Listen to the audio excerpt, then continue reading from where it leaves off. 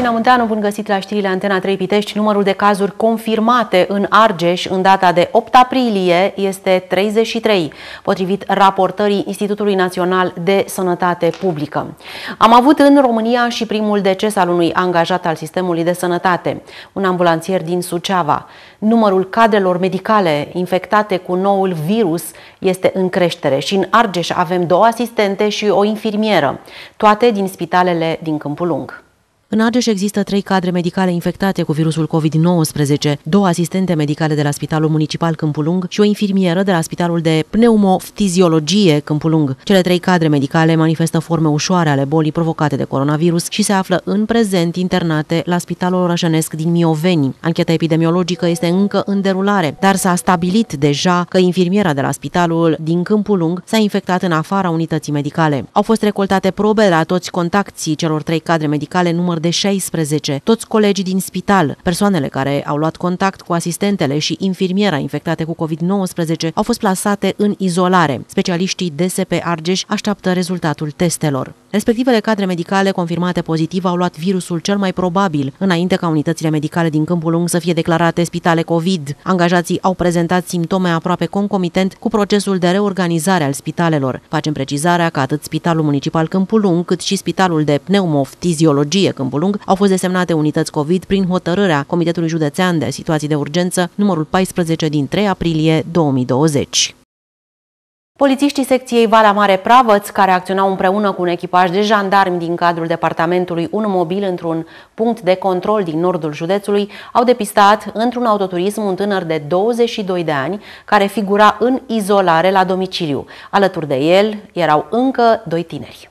În mașină, alături de tânărul de 22 de ani, se aflau alți doi ocupanți, respectiv doi tineri de 19 și 20 de ani, care aveau asupra lor declarațiile pe proprie răspundere, conform ordonanțelor militare în vigoare. Ca urmare a încălcării măsurii de izolare la domiciliu, a fost dispusă introducerea în carantină instituționalizată față de tânărul de 22 de ani. Tânărul a fost sancționat contravențional și cu amendă în valoare de 2000 de lei pentru nerespectarea măsurilor de izolare. DSP Argeș a fost înștiințat cu privire la situația celorlalți doi tineri care se aflau în mașină. Aceștia au fost plasați la rândul lor în izolare la domiciliu. Plouă cu amenzi pentru cei care nu respectă măsurile privind restricționarea circulației. Poliția, jandarmeria și poliția locală patrulează permanent pentru a preveni răspândirea prin contact comunitar a noului virus. O situație inedită a fost în Câmpul Lung, acolo unde patru cetățeni de etnie romă au fost amendați, dar și obligați să curețe locul în care au făcut mizerie în spațiul public. Au fost verificate peste 1160 de persoane cu privire la respectarea măsurilor de izolare sau carantină. A fost aplicată o amendă de 2000 de lei unei persoane care nu a respectat măsura izolării la domiciliu, în plus aceasta fiind plasată în carantină instituționalizată. Au fost constatate 200 de sancțiuni contravenționale în valoare totală de aproximativ 450.000 de lei pentru persoanele care nu au respectat măsura privind restricționarea circulației. 14 dintre aceste sancțiuni, cu o valoare de 32.000 de lei, au fost constatate de jandarmi în municipiul Câmpul Lung. Patru cetățeni de etnie romă din cartierul Tabaci, care nu au respectat regulile de distanțare socială și au făcut mizerie pe domeniul public, au primit amenzi de câte 4.000 de lei și au fost puși să facă pe stradă curățenie. Guvernul a introdus alte măsuri care ar trebui să protejeze populația de criza finanțelor, criza care urmează. Începând din aprilie și până la expirarea termenului de 60 de zile de la data încetării stării de urgență, se suspendă sau nu încep măsurile de executare silită prin poprire asupra drepturilor achitate de casele teritoriale de pensii. Sunt avute în vedere propriile dispuse în baza titlurilor executorii emise de către organele fiscale centrale, organele fiscale locale, în vederea executării silite a creanțelor datorate bugetului general, dar și bugetului local, casele teritoriale de pensii pentru recuperarea unor creanțe reprezentând debite din prestații de asigurări sociale, executorii judecătorești pentru recuperarea creanțelor comerciale, inclusiv cele aferente contractelor de credit bancar, investite cu formule executorie. La data publicării prezentei ordonanțe, prestațiile aferente aferente lunii aprilie erau deja comunicate la plată, însă trebuie precizat că sumele reținute în luna aprilie vor fi restituite odată cu plata drepturilor aferente lunii mai 2020. Pentru aplicarea acestei măsuri nu este nevoie de cerere din partea beneficiarilor. Pe perioada situației de urgență nu se suspendă popririle înființate în vederea recuperării debitelor din prestații constituite ca urmare a unei infracțiuni, precum și cele reprezentând rente ori sume datorate cu titlu de obligație de întreținere sau alocații pentru copii în condițiile codului de procedură civilă. Primăria Municipiului Pitești revine cu precizări importante privitoare la campania de dezinfectare a orașului efectuată în contextul prevenirii răspândirii epidemiei de COVID-19.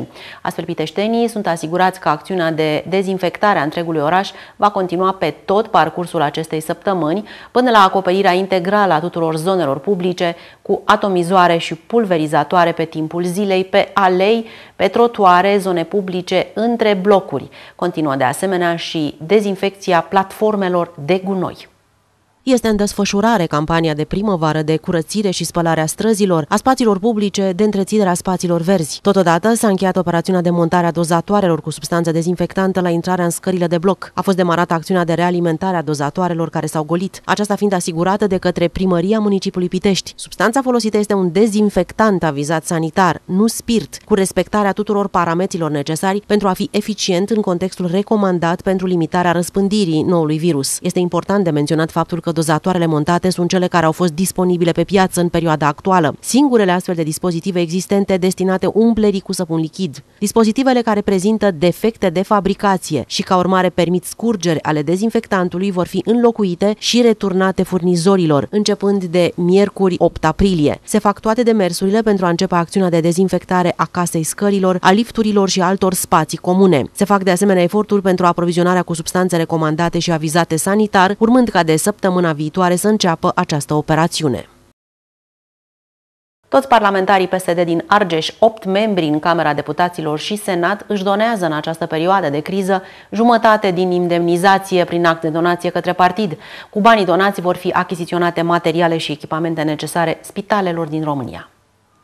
În cadrul ședinței Comitetului Executiv Național al Partidului Social Democrat, ce s-a desfășurat online, s-a luat decizia ca toți parlamentarii PSD să doneze 50% din indemnizație pentru cumpărarea de echipamente medicale necesare în această perioadă de pandemie toți colegii parlamentari am înțeles că în această perioadă trebuie să fim solidari. Toți parlamentarii PSD, inclusiv colegii noștri din organizația Argeș, au decis să doneze 50% din indemnizațiile lor pentru a sprijini achiziția de urgență de echipamente medicale de maximă necesitate.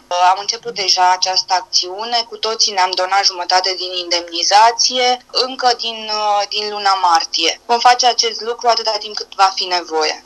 Unde vor merge fondurile strânse? Acestea vor merge cu precădere la cei care uh, lucrează în spitale, la personalul medical, fiindcă este nevoie urgentă de teste, de echipamente, de tot ceea ce este necesar pentru cei care sunt în momentul acesta în prima linie a bătăliei cu pandemia de coronavirus.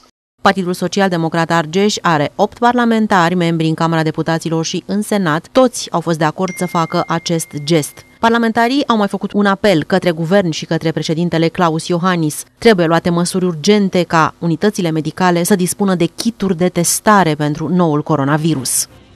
Doamnelor, domnilor, acestea au fost știrile de Rapitești. Sunt Cristina Munteanu, vă mulțumesc pentru atenție. Ne întâlnim mâine la aceeași oră. La revedere!